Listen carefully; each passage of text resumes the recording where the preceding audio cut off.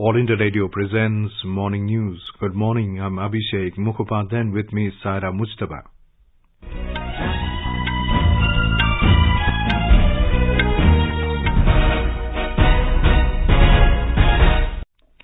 The headlines. India and Denmark signed four agreements following talks between Prime Minister Narendra Modi and his Danish counterpart. India and China to hold 13 round of military level talks in Moldo this morning. External Affairs Minister S. Jaishankar to embark on a four-day visit to Kyrgyz Republic, Kazakhstan and Armenia beginning today.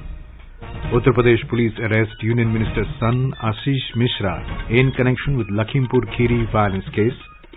CBI arrests 11 persons in connection with post-poll violence in West Bengal. India's COVID vaccination coverage crosses 94 crore 62 lakh mark. Indian Railways to start running festival special trains from today. And in IPL cricket, Delhi Capitals to take on Chennai Super Kings in the first qualifier in Dubai this evening.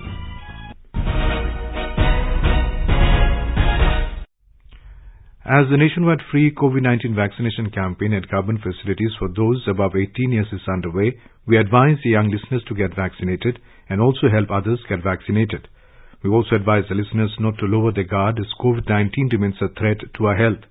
Please stay at home unless it is essential to go out and continue to follow these three simple steps. Wear a face mask, maintain 2 gaz ki duri for social distancing, focus on hand and face hygiene. For any COVID-related information and guidance, contact National Helpline numbers 011 2397 8046 and 1075. And now the news in detail. India and Denmark inked four agreements and decided to expand cooperation following bilateral talks between Prime Minister Narendra Modi and his Danish counterpart Mette Frederiksen in New Delhi. The agreement was signed in the field of skill development and entrepreneurship, traditional knowledge digital library, establishing a center of excellence towards natural refrigerants for tropical climates with potential applications and on mapping of groundwater resources and aquifers. The two countries also decided to expand ties in the fields of health and agriculture. In his statement after the talks, Prime Minister Modi said, India and Denmark have continued their cooperation even during the pandemic. He said in the virtual summit a year ago, both the countries had taken the historic decision of Green Strategic Partnership. Green strategic partnership ये हम दोनों देशों की दूरगामी सोच और पर्यावरण के प्रति सम्मान का प्रतीक है ये पार्टनरशिप एक उदाहरण है कि किस प्रकार सामूहिक प्रयास के द्वारा टेक्नोलॉजी के माध्यम से पर्यावरण को संरक्षित रख सकते हुए ग्रीन ग्रोथ के लिए काम किया जा सकता है The Prime Minister said both the countries have started a new partnership in the health sector. He said they've also decided to cooperate on agro-tech to increase agricultural productivity and improve farmers' income. The Prime Minister said it is a new dimension of India-Denmark partnership. He said during the meeting both sides not only reviewed the progress made under this partnership, but also reiterated the commitment to increasing cooperation on climate change in the near future. Visiting Prime Minister Mette Frederiksen said India and Denmark are two democratic nations and both believe in an international system based on rules. Ms. Frederiksen said both the countries have agreed to work together in the field of health and agriculture. Our cooperation between India and Denmark is a great example on how green growth and green transition can go hand in hand. We agreed to work even closer together on areas as health and agriculture. Prime Minister Narendra Modi will launch Indian Space Association ISPA at 11 a.m. tomorrow via video conferencing. He will also interact with the representatives of the space industry on this landmark occasion. Indian Space Association is the premier industry association of space and satellite companies which aspires to be the collective voice of the Indian space industry. It will undertake policy advocacy and engage with all stakeholders in the Indian space domain, including the government and its agencies. Echoing the Prime Minister's vision of Atmanirbhar Bharat, ISPA will help in making India self-reliant, technologically advanced and a leading player in the space arena. India and China will hold 13th rounds of military talks in Moldo along the LAC this morning. The Indian Army and People's Liberation Army are holding talks after a gap of two months to discuss disengagements in remaining areas of eastern Ladakh. Here's a report from our Leh correspondent.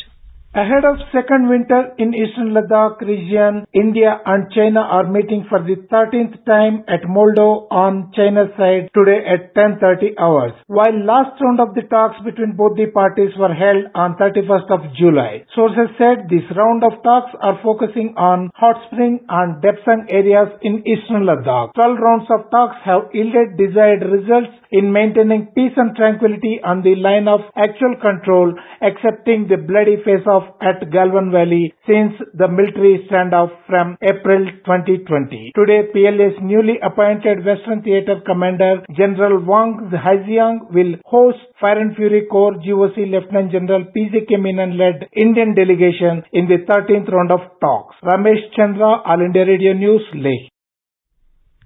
An interministerial subgroup led by the Ministry of Coal has been monitoring the coal stock situation twice a week in the country. In order to manage the coal stock and ensure equitable distribution of coal, the Power Ministry has constituted a Core Management Team or CMT to ensure daily monitoring. It is closely monitoring and managing the coal stocks on a daily basis and ensuring follow-up actions with Coal India Limited or CIL and railways to improve the coal supply to power plants. Yesterday, CMT reviewed the status. The ministry said on the 7th of this month, total dispatch of coal by CIL touched 1.501 metric tons, thereby reducing the gap between consumption and actual supply. The centre has assured that the required quantity of gas will be supplied to Bawana and Pragati stations that supply power to Delhi. Secretary Ministry of Power Alok Kumar said that the assurance in this regard has been given by the Secretary, Petroleum and Natural Gas, Tarun Kapoor. Mr. Kumar also said the National Thermal Power Corporation NTPC has been directed to increase coal stocks equal to national average for Dadri and Jhajjar stations and ensure full availability. Power Secretary also said that Delhi power distribution companies are not scheduling power from Dadri 1 as they want to exit power purchase agreement after 25 years and they have been advised to schedule power. Narcotics Control Bureau NCB has said that all allegations leveled against the agency in connection with the cruise ship raid and recovery of drugs in which Bollywood actor Shah Rukh Khan's son Aryan Khan was arrested are baseless, motivated, afterthoughts and prejudicial.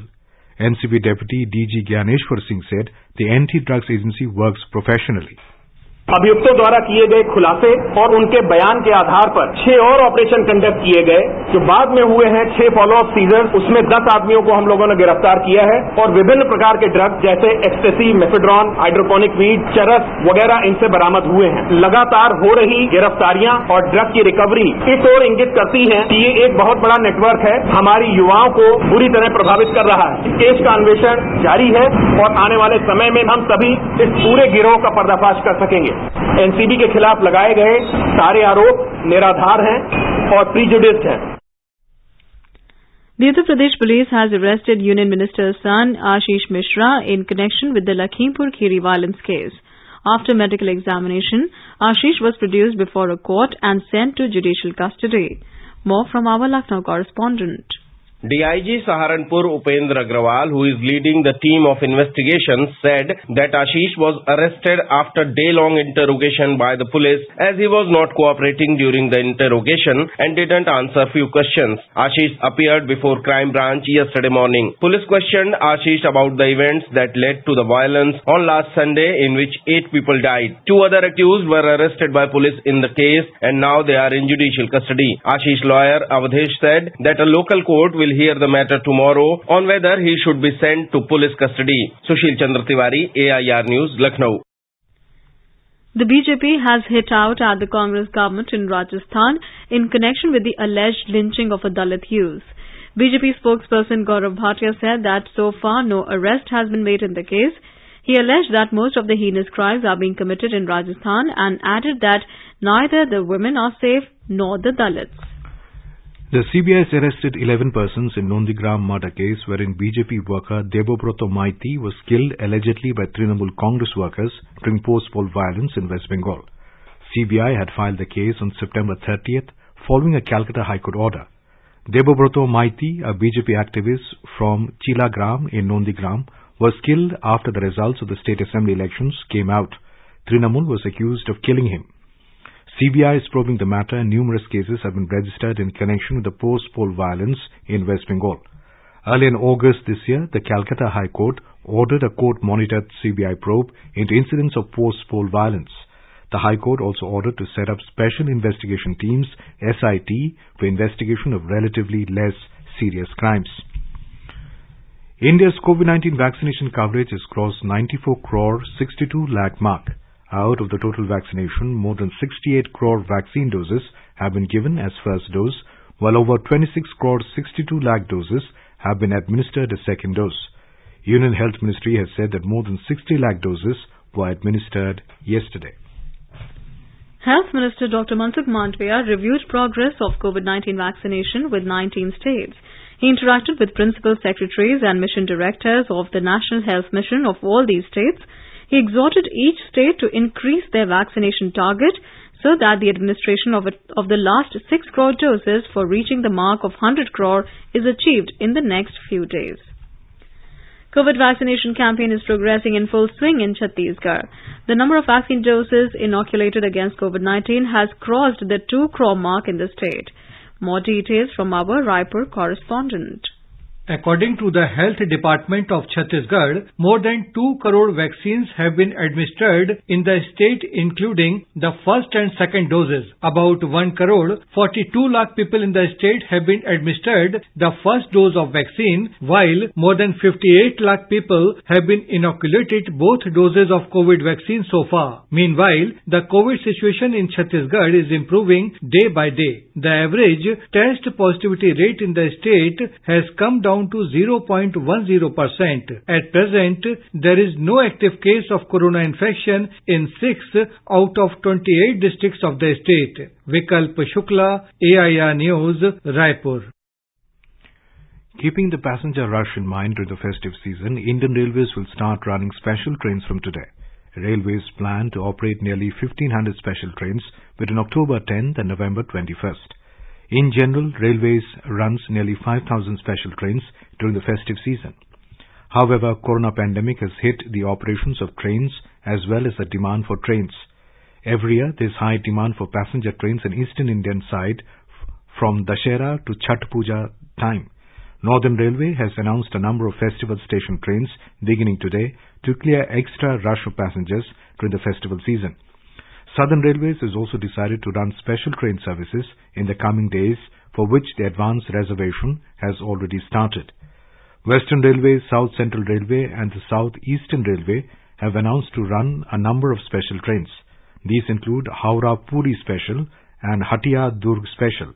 Talking to AIR News, East Central Railway PRO Rajesh Kumar said, we are running festival special trains. The trains will originate from New Delhi and they are destined to Muzaffarpur, Darbhanga, Barauni, Saharsa, Jayanagar. These trains will originate from New Delhi or Anand Vihar terminal station. Additionally, we are also running a special train between Hatia and Gorakhpur and one special train is also being run from Sealdah to Haridwar. I would request all the passengers to get themselves reserved tickets because all these trains are fully reserved and you can travel only when you have a confirmed reservation. At the same time, I will also request all the passengers to follow COVID appropriate behavior during their journey. Department-related parliamentary standing committees for 2021-2022 has been reconstituted. The standing committees have been reconstituted with effect from 13 September. Rajya Sabha member V. Vijay Sai Reddy of YSR Congress has been appointed as the chairman of the Parliamentary Standing Committee on Commerce. Rajya Sabha MP Dr. Vinay P. Sahasrabudhe of the BJP has been appointed as the chairman of the Committee on Education, Women, Children, Youth and Sports. The Committee on Health and Family Welfare will be headed by Rajya Sabha MP Ram Gopal Yadav of the Samajwadi Party. Rajya Sabha MP and Congress leader Anand Sharma has been appointed as the chairman of the Committee on Home Affairs. You're listening to the morning news on All India Radio. A reminder of the headlines before we move on. India and Denmark signed four agreements following talks between Prime Minister Narendra Modi and his Danish counterpart. India and China to hold 13th round of military level talks in Moldo this morning. External Affairs Minister Dr. S. Jaishankar to embark on a four-day visit to Kyrgyz Republic, Kazakhstan and Armenia beginning today. Uttar Pradesh police arrests Union Minister's son Ashish Mishra in connection with Lakhimpur Kheri violence case. CBI arrests 11 persons in connection with post-poll violence in West Bengal. India's COVID vaccination coverage crosses 94 crore 62 lakh mark. Indian Railways to start running festival special trains from today. And in IPL cricket, Delhi Capitals to take on Chennai Super Kings in first qualifier in Dubai this evening. For quick news updates round the clock, follow us on our Twitter handle at AIR News Alerts. चलो मिलकर एक शुरुआत करें। चलो एक फैसला आज करें। मात्र नहीं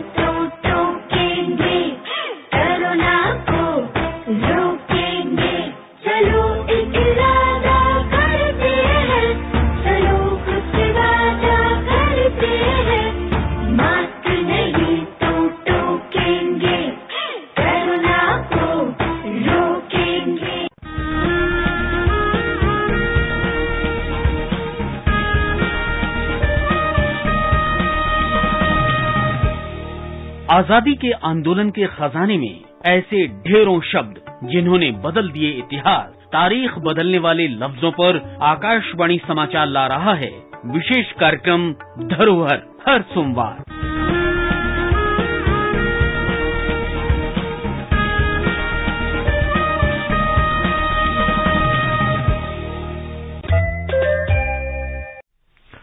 Welcome back. You're listening to the morning news. External Affairs Minister S. Jaishankar will be on a four-day visit to Kyrgyz Republic, Kazakhstan and Armenia beginning today. Dr. Jaishankar will reach Kyrgyz Republic today for a two-day visit. This will be his first visit to the country as External Affairs Minister. He will hold a bilateral meeting with the Foreign Minister of Kyrgyzstan apart from calling on the President of Kyrgyz Republic. Some agreements or MOUs also expected to be signed during the visit. The External Affairs Minister will be in Kazakhstan for two days from tomorrow to attend the sixth ministerial meeting of the Conference of Interaction and Confidence Building Measures in Asia, CICA, in Nur Sultan. Kazakhstan is the current chair and initiator of the CICA Forum. Dr. Jaishankar is also expected to hold bilateral talks with Deputy Prime Minister and Foreign Minister of Kazakhstan and call on the Kazakh leadership. As the nation celebrates the 75th year of independence, a series of events has been organized by the government as a part of Azadi Ka Mahotsav. Let's listen to a special program, Azadi Ka Safar, highlighting the importance of the day during the freedom struggle. Azadi Ka Amrit Mahotsav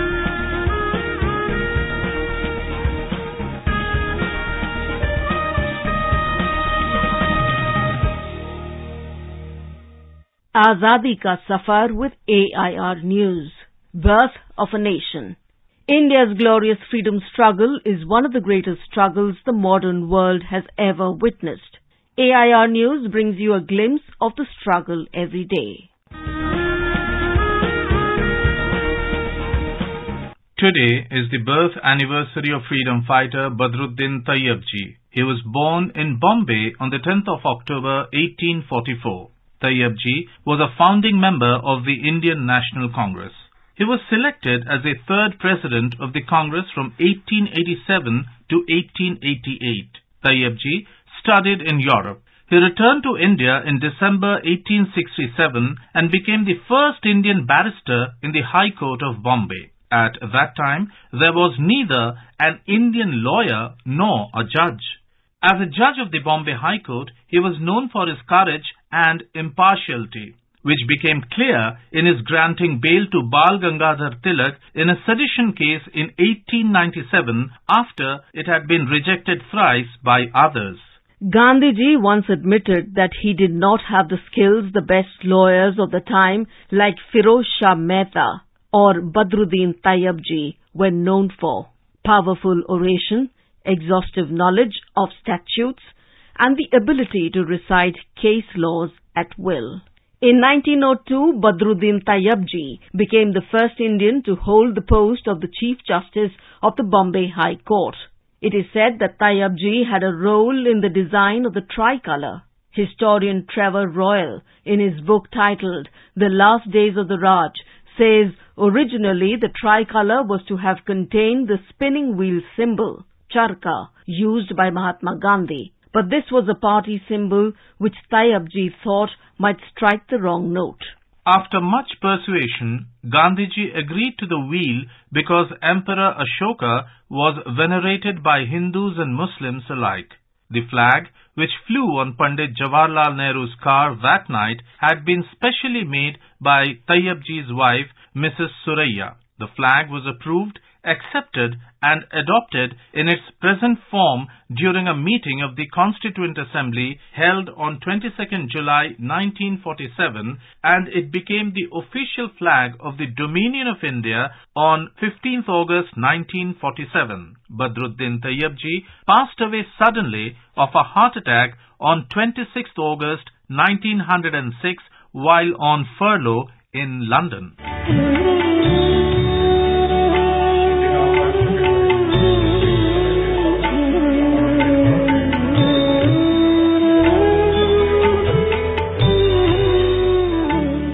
You know why freedom fighter Kushal Konwar of Assam was hanged to death by the British during the Quit India movement of 1942? Well, he was charged for his alleged role in the derailment of a train carrying British soldiers in Assam. It was on 10th October 1942. The train derailed at 1.52 in the night about one kilometer away from Sarupathar railway station in Golaghat district. According to witnesses, about 1,000 British soldiers were killed in the accident. Immediately after the accident, police and army personnel cordoned off the area and indulged in indiscriminate atrocities and arrests.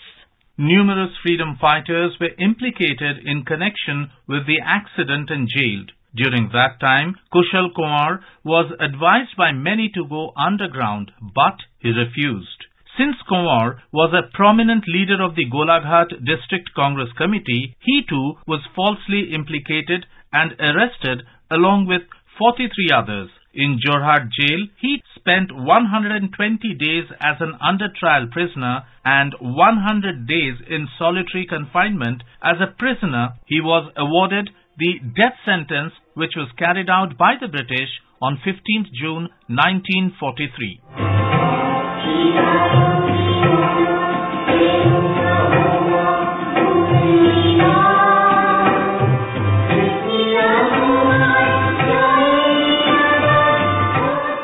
The 38-year-old freedom fighter's life was snuffed out in an unjust manner. But he died a glorious death, having sacrificed his life in the prime of his youth for the cause of his country. In 2016, the Assam government decided to preserve the martyr's house at Balijan near Sarupathar. That brings us to the end of this episode of Azadi Ka Safar with AIR News. See you in the next episode tomorrow.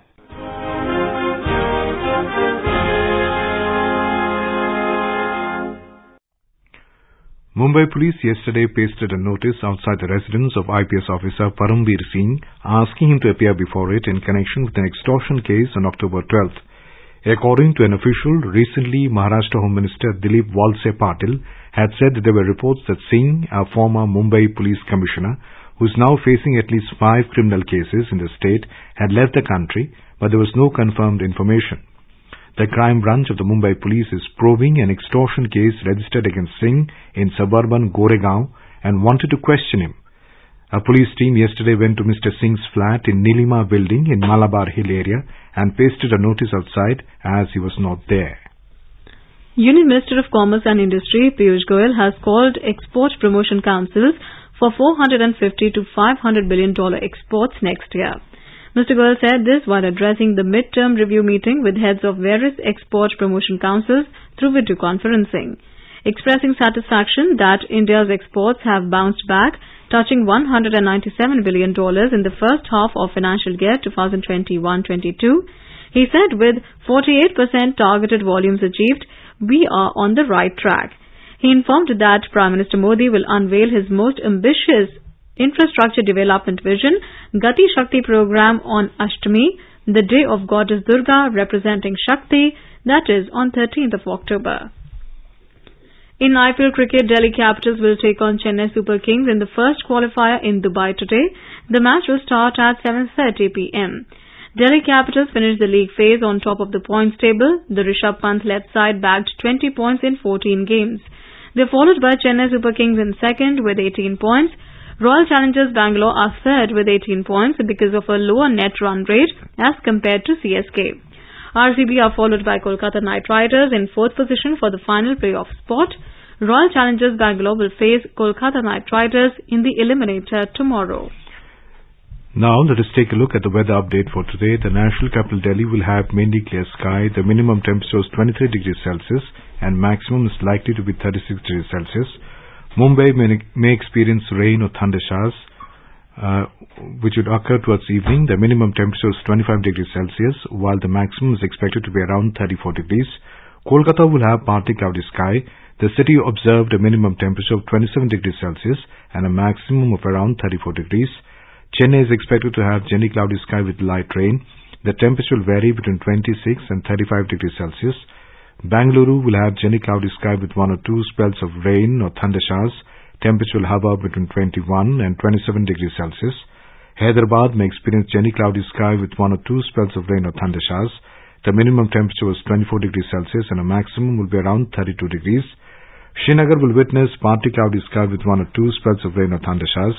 Temperature will hover between 10 and 24 degrees Celsius. Jammu will have mainly clear sky becoming partly cloudy towards evening or night.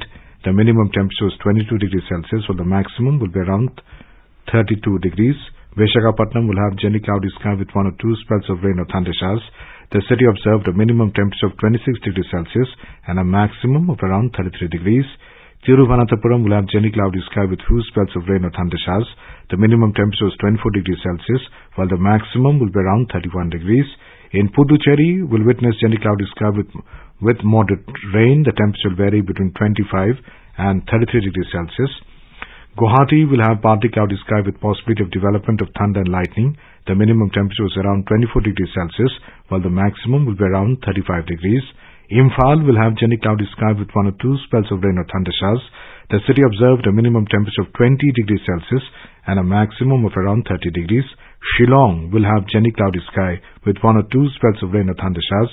Temperature will hover between 16 and 25 degrees Celsius. Aizawl will have gently cloudy sky with one or two spells of rain or thunder showers. The minimum temperature is 18 degrees Celsius, while the maximum will be around 28 degrees.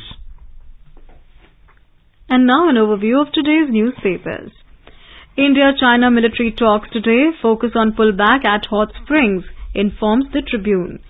Delhi stares at a power crisis, sends out SOS, states Hindustan Times. Bring law to honor Ram Krishna, says Allahabad High Court judge, reports the Times of India.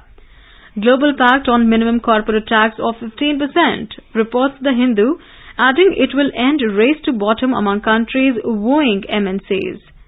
India Denmark signed four accords. PM Modi invites Danish investment in India, says the statesman. Modi Danish PM agreed to further green strategic partnership, writes Hindustan Times. CWC meet on October 16 to discuss chief's election, political situation, notes the pioneer. And finally, real life drama as real life artists go to polls. Well, Business Line reports that election to the Telugu Movie Artists Association gives a soap opera like feel, with top Tollywood actor Chiranjeevi and veteran actor producer Mohan Babu being pitched against each other in opposing camps. And now, before we end the bulletin, the headlines once again. India and Denmark signed four agreements following talks between Prime Minister Narendra Modi and his Danish counterpart. India and China to hold 13 round of military level talks in Moldo this morning. External Affairs Minister S. To embark on a four-day visit to Kyrgyz Republic, Kazakhstan and Armenia beginning today. Uttar Pradesh police arrest Union Minister's son Ashish Mishra in connection with the Lakhimpur Kheri violence case. CBI arrests 11 persons in connection with post-poll violence in West Bengal. India's COVID vaccination coverage crosses 94 crore 62 lakh mark. Indian Railways to start running festival special trains from today. And in IPL cricket, Delhi Capitals to take on Chennai Super Kings in the first qualifier in Dubai this evening. And with that, we end the morning news.